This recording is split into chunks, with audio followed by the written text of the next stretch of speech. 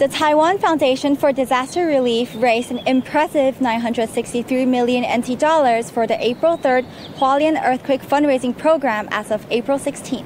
Since the devastating magnitude 7.2 earthquake, almost 160,000 donations have poured in, marking the start of a month-long fundraising campaign. The Ministry of Foreign Affairs has thanked numerous countries for their significant donations to Hualien's earthquake recovery. Lithuania contributed over 50,000 US dollars.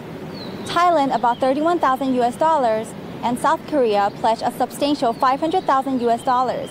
These contributions, along with a pledged 1 million US dollars donations from Japan, demonstrates robust international support and solidarity with Taiwan during this critical recovery phase.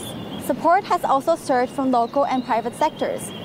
Taiwan's convenience stores alone have raised close to 21.5 million NT dollars from 13,000 donations. Moreover, the Japanese restaurant chain Gyotan Tsukasa has made a heartfelt donation of 100,000 US dollars to the Buddhist Tzu Foundation in the US for Taiwan's relief efforts, echoing the gratitude felt for Taiwan's aid during Japan's 2011 Tohoku disaster. This showcases the deep bonds of mutual support and solidarity in times of crisis. Fundraising efforts continue until May 3rd. The Ministry of Health and Welfare announced that the collected aid will focus on critical areas, including disaster relief, emergency medical services, sheltering and resettlement, and recovery and reconstruction. This is Isabel Chow from TVBS World Taiwan.